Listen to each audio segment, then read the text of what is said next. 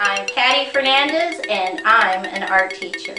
Visit my website at pattyfernandezartist.com. Okay, let's draw.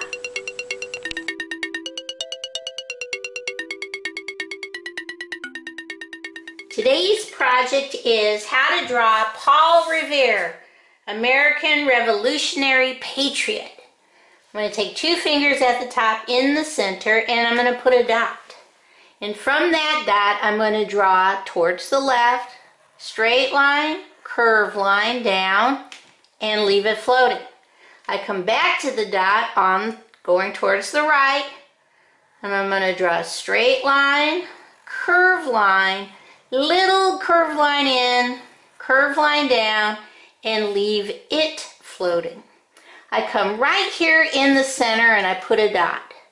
And from that dot going up, I'm going to draw a straight line, curve line, and leave it floating. Come back to the dot and I'm going to draw a straight line, curve line up, connect to the right hand side. Now I start right back in and I draw a straight line, curve line, curve line, straight diagonal down, and leave it floating. Now I come back up and I take this line and I just draw it until it connects.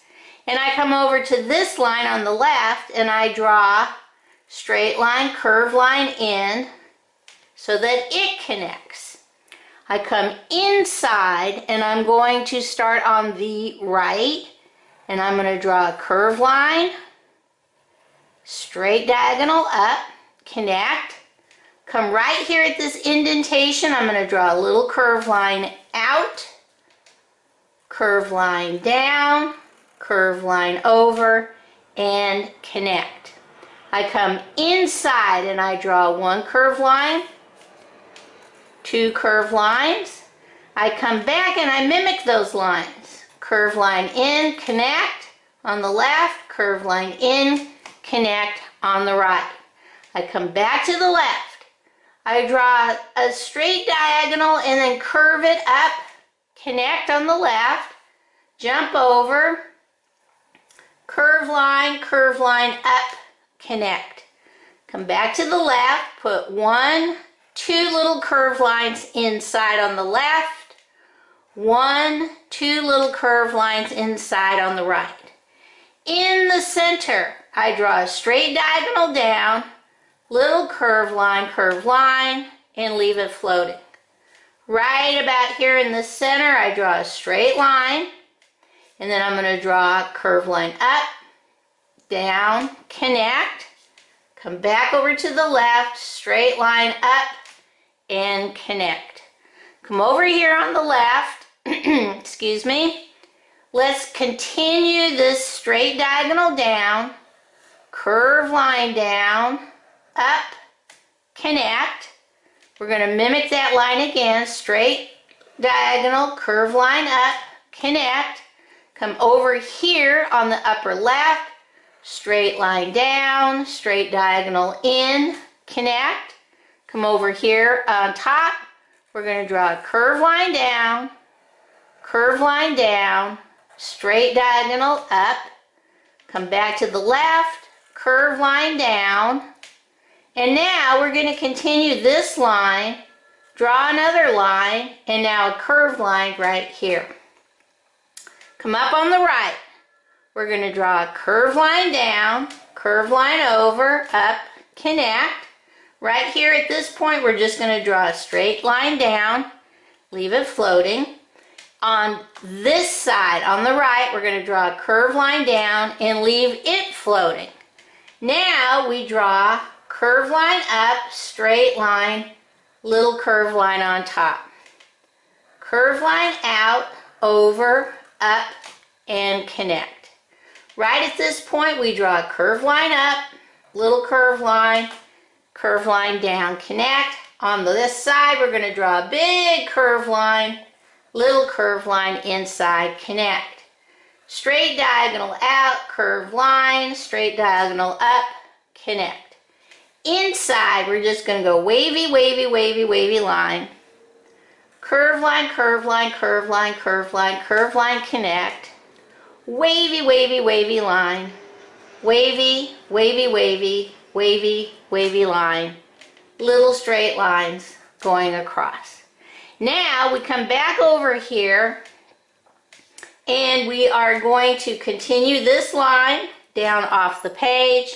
We're going to continue this line down off the page. And right here, we're going to draw one, two, three curved lines. Now this might not look quite right, but it is once we start coloring. But first over here on the upper left, we're going to put a dot and we're going to draw a big circle. And inside we're going to write the number 12 for midnight. Then we're going to put triangle, straight line, triangle, straight line. We're going to draw another circle around it and a little curved line on top.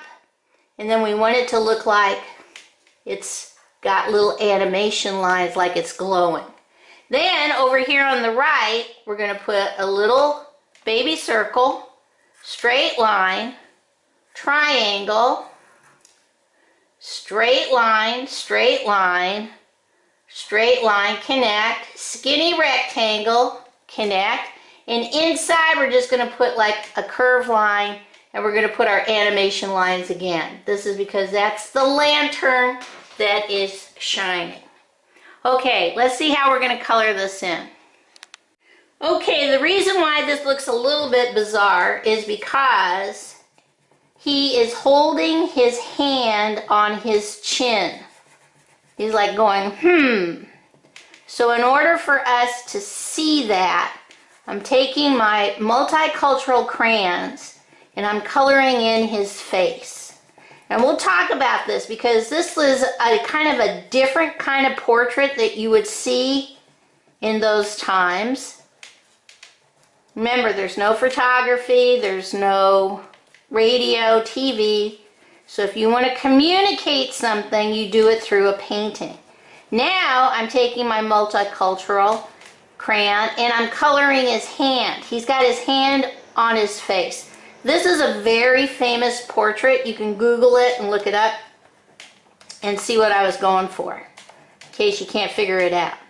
Okay, so I've got that done so you can kind of see where his face is.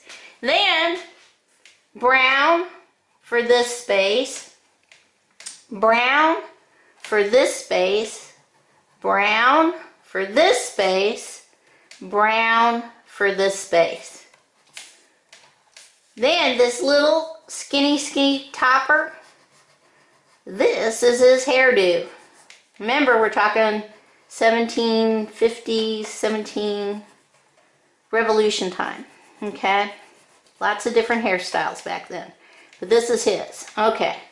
Then I'm going to take my blue and he's wearing a workman's coat, a vest. And that is because this is really a portrait of an American worker.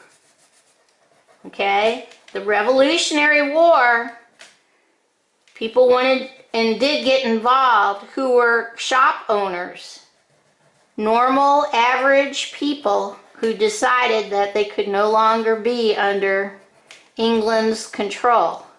And they become revolutionaries. And that's why this portrait is so interesting because there's no way you would ever think he would look like a revolutionary, but he was. Okay, now I'm taking my yellow and I'm coloring in my clock.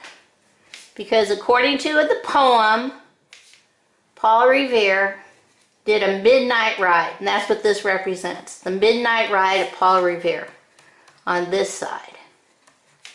Then another part was the oneth by land, twoeth by sea, which was basically saying if the English were coming he was letting everybody know if they were coming in through the ports, that was once.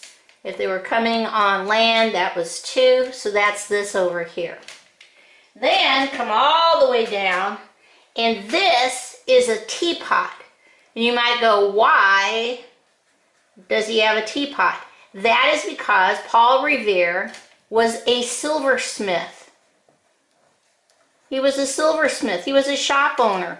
He made silver, teapots and spoons and urns.